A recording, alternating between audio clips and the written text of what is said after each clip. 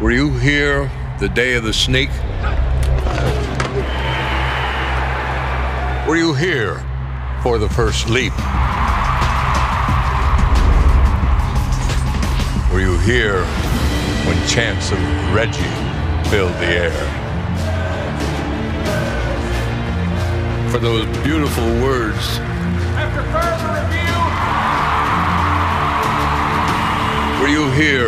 When we carried Coach off the field? Okay, Jamie's much better at these vlogs than I am, so this is my attempt at it. But here's the stressful situation. We're leaving for Green Bay, and Southwest just sent us a text message saying that our flight is actually, what, an hour and a half? Moved up. Moved up by an hour and a half without warning. Just like, hey, you've been rebooked. For the record, I was gonna make fun of Pete because something always happens when I travel with Pete. So Pete has missed his flight before uh, to Dallas one time when he and I were flying up there. Last time he and I flew, he uh, lost his ATM card. So Paul's here. We're ready for uh, some football action on Sunday.